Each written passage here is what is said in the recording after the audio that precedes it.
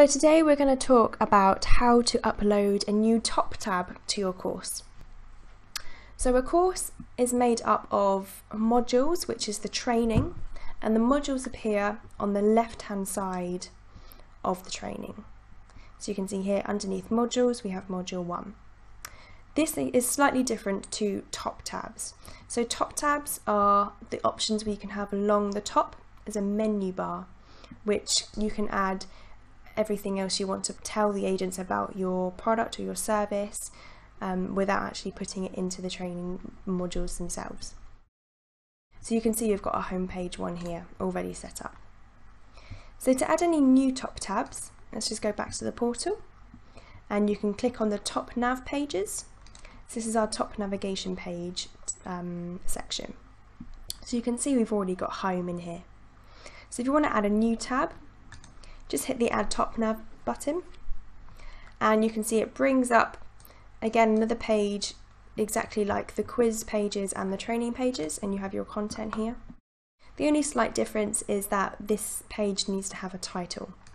So there's three sections here. So uh, the title, this is where you can pop um, the title page and this is what you'll see in the portal.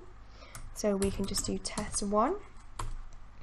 This is your, the next section is your menu title and most of the time it's exactly the same so this is what you'll see in the portal and the menu item URL this is just the URL for the portal to identify exactly what page the agents are clicking on. So we're within the menu item URL, again you can have it the same as the title and menu titles, just don't have any space in between as this will um, break the URL. So once that's the titles are in there, again, you have all this space for you to pop the content in. So you can just type in what you want to, you can add images, you can add text, okay, and hit save. So you can see we've got home and now a test one top tab.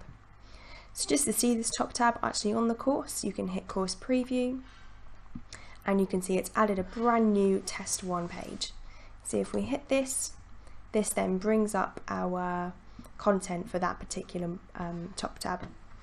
So what we recommend for the different types of top tabs is obviously have a home page, you can maybe have an about us page, you can add like an image and video library, you can have a brochures page, you can upload your PDFs, and you can check out another video how to upload a PDF to your course.